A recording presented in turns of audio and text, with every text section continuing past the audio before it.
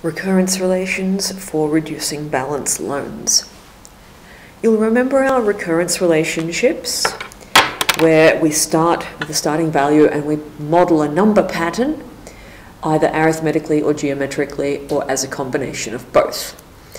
And reducing balance loans have an increase of compound interest um, and that increase is a percentage increase, so that's a geometric increase, and you're paying it off with a um, subtraction of a fixed amount, so of course that's an arithmetic aspect of the number pattern.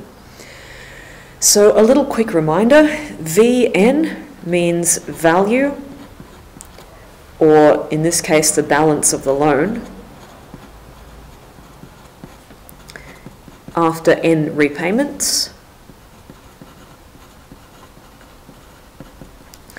R is the interest rate per compounding period, the percentage, but not per annum, per compounding period.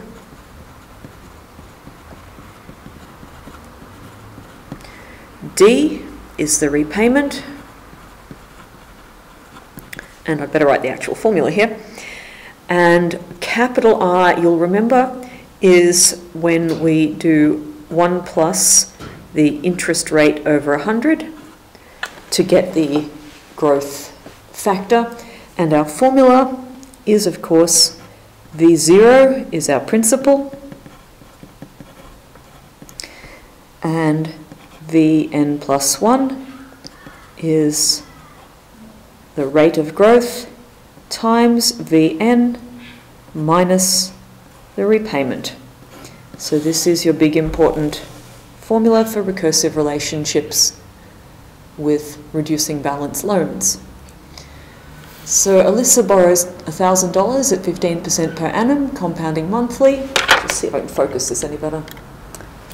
Uh, she will repay the loan by making four monthly repayments of $257.85. A. Construct the recurrence relationship. It's a good idea to write your rule. V0 is the principal. Vn plus 1 equals Rvn minus D. So V0 is the principal of 1000. And we will need to calculate R so popping over here, R is 1 plus the interest rate per compounding period over 100. It's quarterly. Oops, sorry, clear my calculator. So 15% per annum, we'll need to divide that by 4 to get quarterly, then divide that by 100, and then add 1. So R is 1.0375. What have I done wrong there?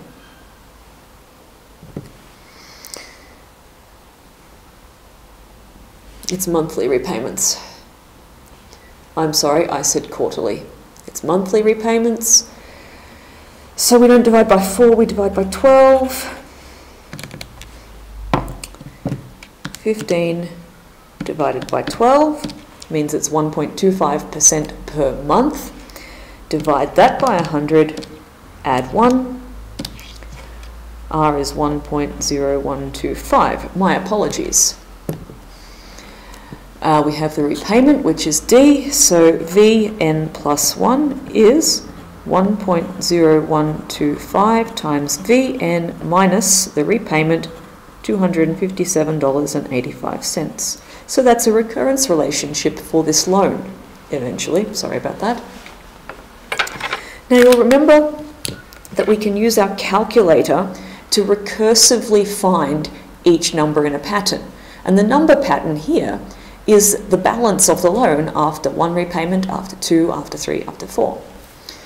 So remember, you start with your principal, 1,000, and you hit enter.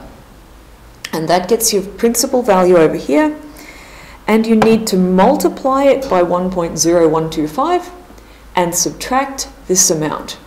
So if you type both of those in, times, I'll move that so we can read it, 1.0125 minus 257.85, then this is the value after one repayment.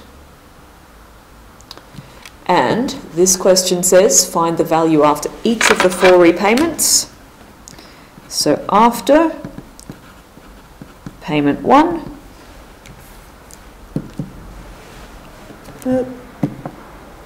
sorry, trying to put that somewhere where you can read it and I can still write. It's a bit tricky. $754.65. And then just hit enter again and it will get payment two.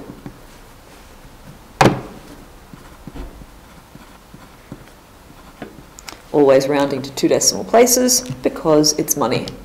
Hit enter, the value after repayment three,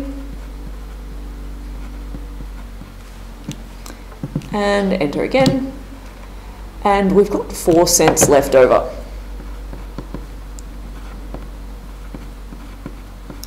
And the last question there is Is the loan fully paid out after four repayments? No, because there's four cents left. Obviously, this means we have to adjust the final payment. So the payments were $257.85. Final payment